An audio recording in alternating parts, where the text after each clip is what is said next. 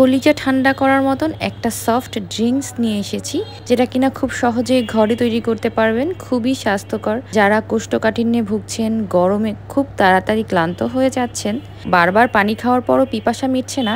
আজকের এই লোভনীয় ড্রিঙ্কসটা আমি বলব তাদের জন্য। বানানো খুব সহজ ছটফট তৈরি করা যায়। কথা না বাড়িয়ে চলুন, দেখে নেওয়া যাক। প্রথমেই আমি একটা ছোট মিক্সিং বাটির ভেতরে নিয়ে নিয়েছি তোকমা দানা। এখানে আমি প্রায় ওয়ান ফোর্থ কাপের মতন তোকমা দানা খুব ভালোভাবে ধুয়ে পানিতে ভিজিয়ে রেখেছিলাম প্রায় পনেরো মিনিটের মতন। এটাকে তোকমা দানা বলে আমার জানা মতে আপনাদের অঞ্চলে এটাকে কি বলে অবশ্যই কমেন্ট করে জানাতে কিন্তু ভুলবেন না। আর এই তোকমা দানাটা যে কোনো মুদির দোকানে আপনারা পেয়ে যাবেন। যে কোনো সুপার শপগুলোতেও পেয়ে যেতে পারেন এই তোকমা দানা। ঘরে কিন্তু স্বাস্থ্যকর উপায়ে খুব সামান্য কয়েকটি উপকরণেই আপনারা তিনটি ফ্লেভারের ট্যাঙ্ক তৈরি করতে পারবেন, যেটা কিনা আমি অলরেডি আমার চ্যানেলে শেয়ার করেছি। আপনারা চাইলে সেখান থেকে দেখে নিতে পারেন। এখানে আমি অরেঞ্জ ফ্লেভারের তিন টেবিল চামচ পরিমাণ উঁচু উঁচু করে নেওয়া ট্যাঙ্ক দিয়ে দিলাম। খুব ভালোভাবে ট্যাঙ্কটাকে এই তোকমা দানার সাথে মিশিয়ে নিচ্ছি। তারপর এর ভেতরে আমি ঠান্ডা পানি অ্যাড করব।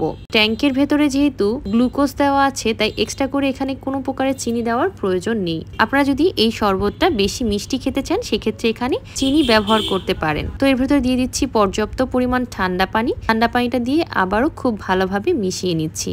তোকমা দানাগুলো কিন্তু ভেজে যাওয়ার পরে এরকম আঠালো ভাব হয়ে যায়।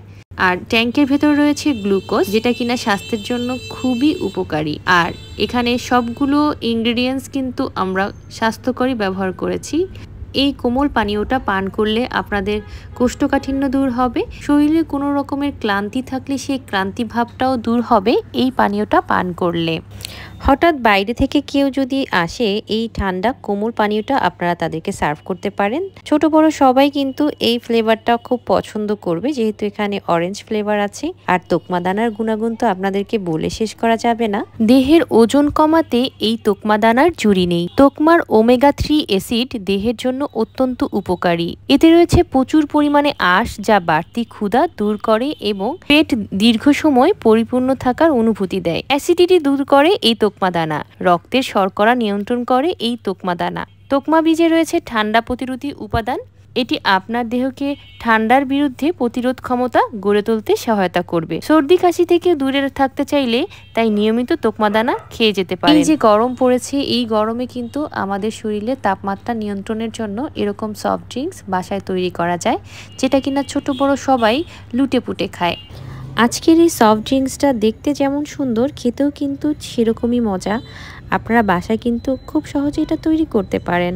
আশা করছি আজকের এই ভিডিওটি আপনাদের একটু হলেও ভালো লেগেছে। ভালো লাগলে একটা লাইক দেবেন এবং কোন জায়গা থেকে এই ভিডিওটি দেখছে কমেন্ট করে জানাতে কিন্তু ভুলবেন না। আজকের মতো এখানেই বিদায় নিচ্ছি। যেতে যেতে ছোট্ট রিকোয়েস্ট করব, যারা এখনও আমার চ্যানেলটি সাবস্ক্রাইব করেননি প্লিজ সাবস্ক্রাইব মাই চ্যানেল ভালো থাকবেন, সুস্থ থাকবেন।